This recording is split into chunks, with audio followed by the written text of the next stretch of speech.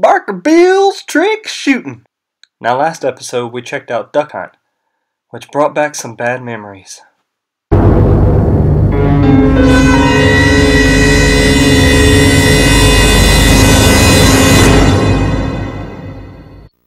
Now, if you're not familiar with this game, it's based on Barker Bill, who was a Wild West gunslinger who used to terrorize towns, and then he ran off with a saloon girl and started his own circus.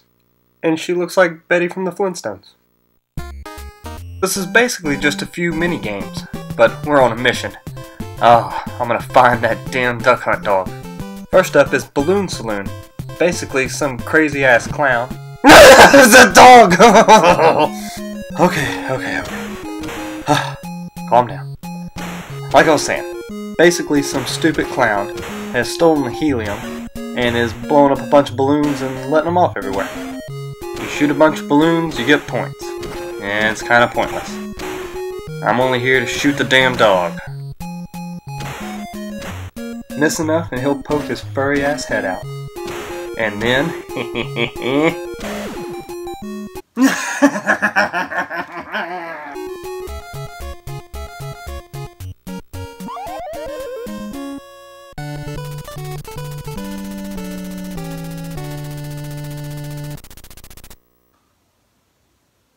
Son of a bitch!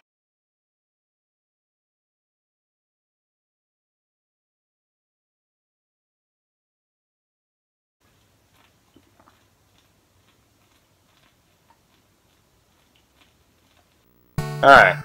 Screw that dog. On to the next game. Flying Saucers. Now this game here is where Bill and, uh, we'll call her Betty, uh, they get in an argument and they start throwing plates at each other. This is the first instance of domestic violence in an NES game. And why does this music sound familiar?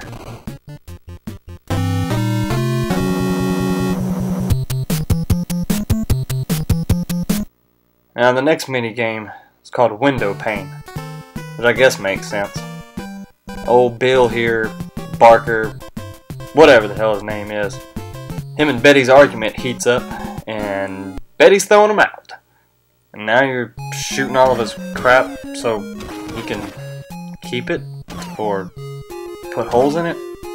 I don't know. Eh, I'm done. I just wanted to shoot the damn dog. And I shot him, and he still laughed at me. Bastard. The last of the games is called Fun Follies.